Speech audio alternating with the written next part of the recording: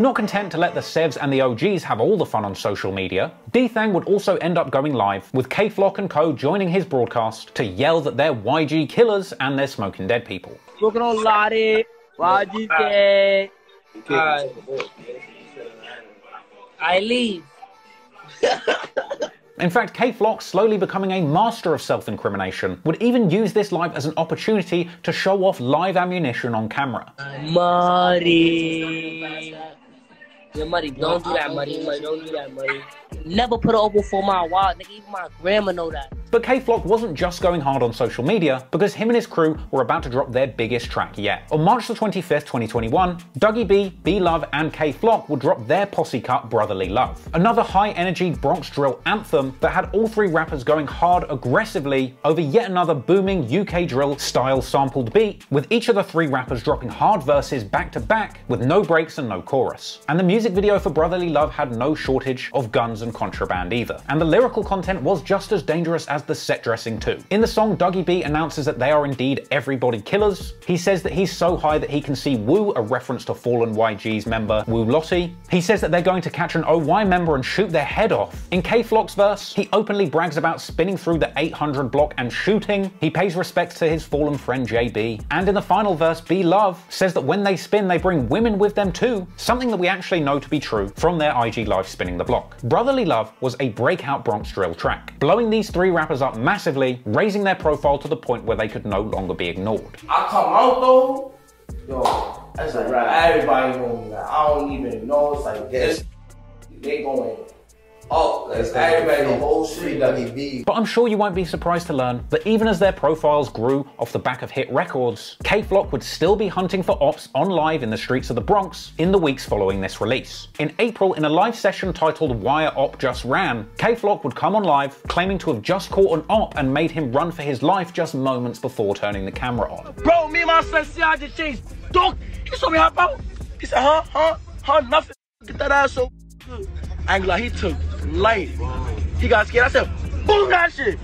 So, huh? I running right to the cops. He thought he was gonna do something because he ran in front of the cops. He was gonna fuck the cops. He started running behind the cops.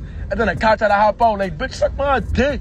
Now, Kay Flock was acting crazy on this live, at one point even yelling out that his crew had destroyed the candlelit mural of a fallen member and that nobody had even retaliated yet. Word my dead finally that y'all candles ain't had citizen lit y'all block. Too just recently, times. just recently, you still ain't do nothing to my block. Suck my dick. Frankly, Kay Flock was just getting worse and worse with these incriminating live sessions. At a certain point, he even begins naming specific cars that his ops are driving and claiming that he's going to come back and shoot the block up, not on live, which is just a very dumb and incriminating thing to say before you do a crime. Huh? Ask the man's in that gray Nissan on your block. And hung up, he knows something. He know the Uda do. I'll play it.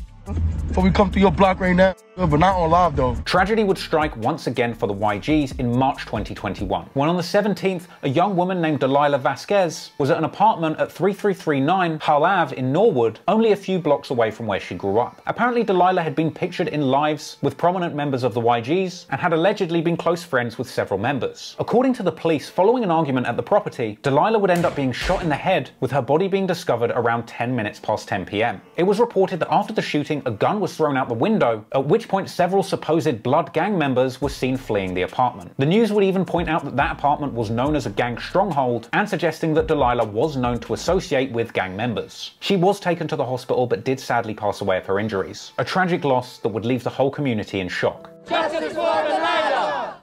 If you know something, let the family know. Police found Vasquez in an East Gun Hill Road apartment around 10 p.m. earlier this month. Following the shooting, several people believed to be Blood Gang members were seen exiting the building. The gun was tossed out the window. Residents expressed concern over Blood Gang members taking control of the apartment building before the incident occurred. This was an awful tragedy, but to make matters worse, despite not even being a full-blown gang member, the YG's ops, the OGs, would use Delilah's tragic demise as an opportunity to mock and provoke their enemies in the YGs. Only around a month after Delilah's passing on April 22, 2021, OGs rappers Sha EK and Blockwork released the very disrespectful song D and D, which stands for Dummy and Delilah. A scathing diss track track aimed towards the YGs, with Sha EK dropping lyrics suggesting that he smokes Delilah, as well as saying that he will also smoke a dummy. An apparent reference to another fallen member, Dummout, real name Damian Gilbert, who was sadly stabbed to death in 2018. The victim, 18 year old Damian Gilbert, died at the hospital, stabbed several times in the chest. Now police are looking for a killer,